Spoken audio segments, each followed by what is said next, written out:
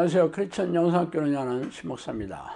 오늘은 나는 성령의 사람을 갈망하는 하나님의 백성을 기다리고 있다라는 점을 한번 생각해 보겠습니다.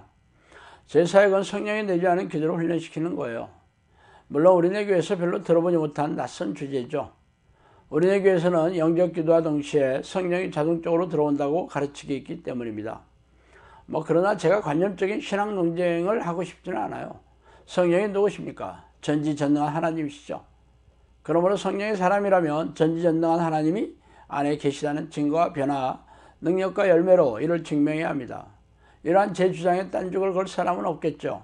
그러나 아쉽게도 우리네 교회는 자신들에게 전지전능한 성령의 증거나 능력이 없는데도 불구하고 성령이 안에 계시다는 확신을 굳게 잡아야 한다는 말로 덮어두고 있어요.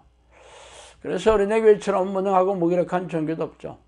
올해 터진 코로나 사태로 우리네 교회의 무능함을 증명해 보이지 않았다면 아직도 신기루 같은 믿음을 붙잡며 자기 확신으로 중무장한 교인들로 가득 차 있을 거예요. 그러나 제 사역은 아니에요.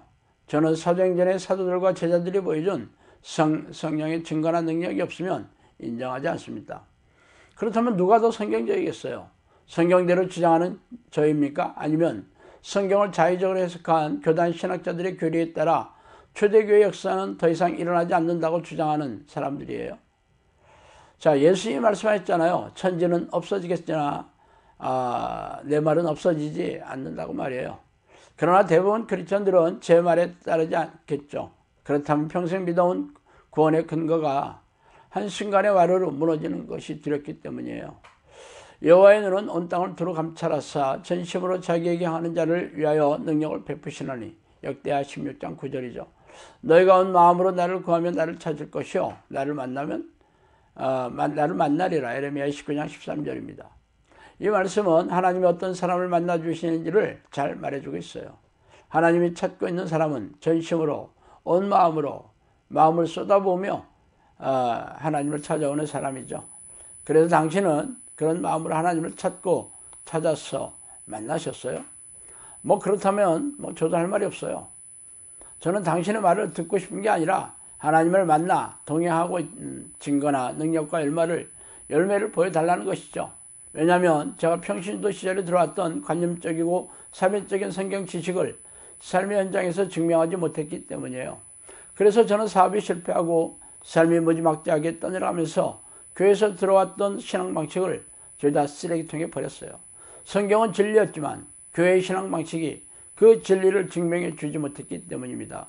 그래서 인생을 자포자기 하면서 낚시터에서 한 많은 세월을 떠내려 보내던 어느 날 하나님께 애걸복걸하며 마지막이 될지도 모를 기회를 한 번만 달라고 울부짖었어요. 그리고 하나님을 만나는 방법을 성경에서 이잡듯이 뒤져 찾아낸 것이 위에 말씀드린 에, 위에 제가 말씀드린 성경 말씀이죠. 마음을 다하고 뜻을 다해 전심으로 그를 찾으면 만난다는 말씀이었어요. 그런 다음 날부터 저는 하나님을 전심으로 부르기 시작했어요. 그렇게 10년을 불렀습니다. 10년 동안 아무런 일이 일어나지 않았지만 성경이 살아계신 하나님의 말씀이라면 절대로 포기하지 않겠다고 날마다 다짐하면서 그렇게 세월을 보냈어요. 그러나 어느 날 하나님께서 저를 찾아오셨죠. 그 다음에 일어난 사건은 여러분도 이미 잘 알고 있는 내용이라 뭐 더 이상 말씀드리지 않겠어요. 그래서 제가 하나님을 만난 증거가 무엇이냐고요? 사도행전에 나타난 사도행전의 사도들과 제자들에게 나타난 전지전능한 하나님의 능력이 저희 삶과 사역을 통해 증명해 주셨다는 것입니다. 물론 제 주장을 믿고 싶지 않거나 회의적인 사람들도 적지 않을 거예요. 그러나 저에게 이러한 사건은 이미 수백 명의 사람들이 눈으로 보고 체험했어요. 그동안 제가 천 번이 넘는 기적을 경험했으며 수백 번이 넘는 기적과 이적을 영상학교에 앉아있는 공동체 식구들이 눈으로 보고 귀로 들으며 직접 몸으로 체험했다는 것이죠. 물론 아쉽게도 대부분의 크리스천들은 제 말에 관심조차 없는 게 사실이에요. 그렇지만 제가 꾸역꾸역 유튜브 동영상으로 이 말씀을 드린 이유는 성령의 사람이 되기를 갈망하는 누군가가 있을지 모르기 때문입니다. 정신질환과 고질병, 각종 삶의 지나는 문제로 인해 하나님의 기적을 갈망하는 사람도 있으며 삶의 문제는 없지만 영혼의 갈급함으로 인해 성령의 기름 부분에 타게 기다리는 사람도 있겠죠. 아니면 사도행전의 사도들과 제자들처럼 하나님의 도구로 쓰임을 받고 싶은 갈망이 넘쳐 나는 사람도 있을 것입니다. 뭐 이유가 무엇이든지 간에 성경의 위인들처럼 전지전능한 하나님을 만나 평생 동행하는 삶을 살고 싶어하는 사람이 제 주장을 진지하게 들어볼 수 있는 기회를 드리고 싶어서요. 제가 20여 년 전에 삶이 무지막지하게 떠내려갔을 때 하나님을 애타게 찾았던 것처럼 누군가는 저처럼 아, 성령의 임재와 동행을 학수고자 하며 찾는 사람도 있을 것이기 때문이에요. 그래서 저는 그런 사람을 기다리고 있어요. 그래서 그런 사람을 만나면 어떻게 제가 하나님을 만나며 만나서 놀라운 인생을 살게 되었는지 그리고 성령의 능력으로 기적과 이적으로 사역을 하게 되었는지를 말씀드리고 싶습니다. 그래서 저와 같은 성령의 사람들이 마구마구 늘어나면서 귀신을 쫓아내고 사탄의 소나기에 사로잡힌 영혼들을 구해내서 하나님의 나라로 드리는 어, 그런 사역을 하게 된다면 하나님께서 얼마나 기뻐하시겠어요. 생각만 해도 가슴이 뛰고 아들의 난린이 솟아나겠죠. 하나님은 전심으로 자기를 애타게 찾는 사람을 기다리고 계신 것처럼 저도 성령의 명령을 따라 그런 사람을 학수고대하며 기다리고 있어요. 성령을 만나서 동행하는 길이 있다면 모든 것을 내려놓고 목숨이라도 기꺼이 들을 수 있는 그런 사람 말이죠.